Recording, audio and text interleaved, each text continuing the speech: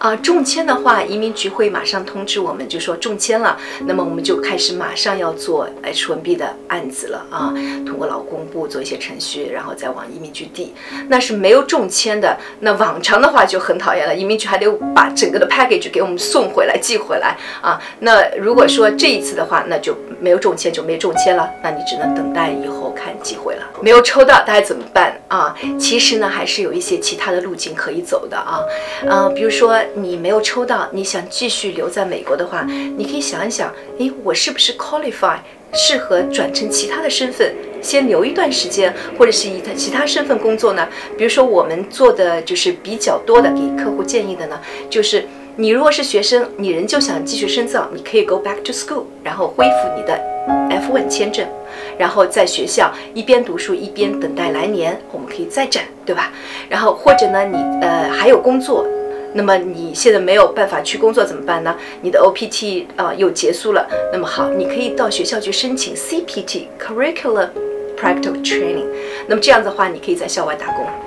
还有呢，就是说你如果是够优秀，你可以去想一下，你是不是符合 O one，也就是杰出人才的工作签证。那么还有就是 L one，。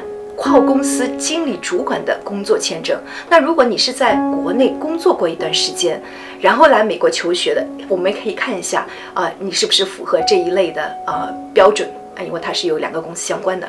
那么还有什么呢？还有就是你看看，呃，J One，J One 呢是访问学者签证了。那么有些研究人员他可能会有一些机会到一些呃。研究所啊，大学啊，去继续啊工作研究。那么这些大学呢，有可能会发给他们 J1 的签证，那也可以继续留在美国工作。但是 J1 呢，我们尽我们建议的是尽量不要碰，因为什么呢？它有两年回国服务的限制。也就是说，如果你以后要办绿卡，你还要去做一个豁免 waiver 的程序，所以比较麻烦。但实在没有办法的情况下，也是可以一试的啊。那么还有呢，就是呃，可以看一下，比如说自己已经结婚了，有配偶，配偶是 H。H1B，哎，我可以把它转成 H4，对吧？在美国啊继续待着啊，这个这个来年再看看情况。那么还有这些呃，这个申请人他是 PhD 啊，P 呃博士后，这些呃同学们呢，他就可以想想我可不可以直接申请绿卡？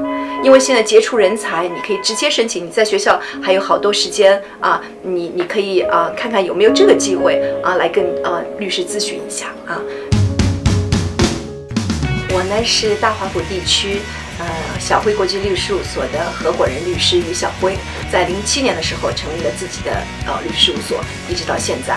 我们的律所呢主要从事一些非常 concentrate 的一些 area，比如说移民、啊公司商标和意外伤害。